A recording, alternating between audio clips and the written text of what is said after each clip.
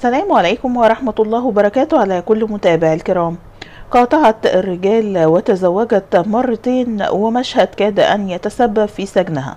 وضربت صفية العمري. هنعرف تفاصيل كتيرة جدا عن الفنانة الجميلة الراحلة معالي زايد. الفنانة معالي زايد كلنا حبيناها وحبينا أدوارها. ولدت الفنانة معالي زايد هي في الحقيقة اسمها معالي عبد الله المنياوي في 5 نوفمبر عام 1953 بحي السيدة زينب بالقاهرة. لأسرة فنية فوالدتها هي الفنانة أمال زايد وخالتها الفنانة جمالات زايد. وخالها السيناريست محسن زايد. وكان والدها يعمل لواء في الجيش. الفنان هاني شاكر ابن خالتها وتخرجت معالي زايد من كلية التربية الفنية ثم تخرجت من المعهد العالي للسينما وكانت لدى الفنانة معالي زايد هواية رسم البورتريه كما كانت تمتلك أيضا مزرعة خاصة بها على طريق مصر الإسكندرية الصحراوي وكانت تجلس بها معظم الفترة أثناء عدم وجود أدوار فنية ليها.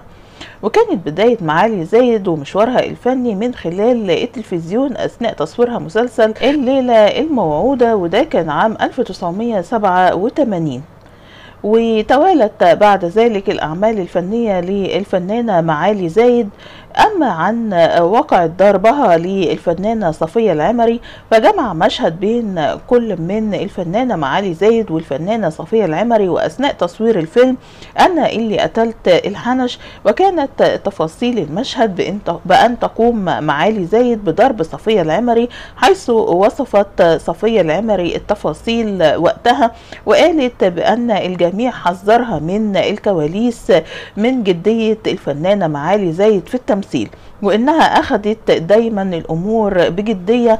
أما بالنسبة المشهد اللي كاد أن يتسبب في سجنها في أثناء عرض فيلم أبو الذهب وبسبب بعض المشاهد الجريئة التي جمعت الفنان الراحل ممدوح وافي تعرضت الفنانة معالي زايد لأزمة حقيقية بسبب تلك المشاهد بالرغم من حصول أسرة الفيلم على موافقة الرقابة التي طلبت بتقليل هذه المشاهد وهو ما تم بالفعل ولكن تم تسريب بعض النسخ القديمة من الفيلم وتم تداولها في الأسواق. وفي تلك الفترة تم رفع دعوى قضائية ضد الفنانة معالي زايد والفنان ممدوح وافي.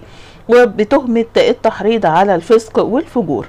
وهي عقوبة تصل للسجن ثلاث سنوات ولكن تم عمل استئناف على الحكم وحصل على البراءة. وفي تلك الفترة قالت معالي زايد إن سمعتي كفنانة وإنسانة ضاعت ودخلت معالي زايد في حالة حزن واكتئاب شديدة. عن مقاطعتها للرجال في خلال مشوارها في الفن تزوجت مرتين من خارج الوسط الفني. المرة الأولى كانت من مهندس ولم تستمر الزيجة طويلا حتى حدث الطلاق. بينما بعد مرور ثلاث سنوات دون إنجاب أي أبناء أما الزيجة الثانية فكانت من الطبيب الذي عالجها من آلام الزايدة. بعد ما نشأ بينهم قصة حب وتم الزواج بينهم وانفصلت عنه عام 1900 1992 دون إنجاب أي أبناء. وقررت من بعدها عدم الزواج مرة أخرى. أما عن وفاة الفنانة معالي زايد فحلت عن عالمنا الفنانة القديرة معالي زايد في 10 نوفمبر عام 2014 عن عمر يناهز 61 عاما بعد إصابتها بسرطان الرئة بعد ما انتشر في كافة أنحاء جسدها وكانت وصيتها الأخيرة بأن يقام لها معرض يضم كل لوحتها الفنية وتم تنفيذ وصيتها بالفعل وتم افتتاح معرض تشكيلي باسمها عام 2016 يضم 22 لوحة فنية من لوحتها.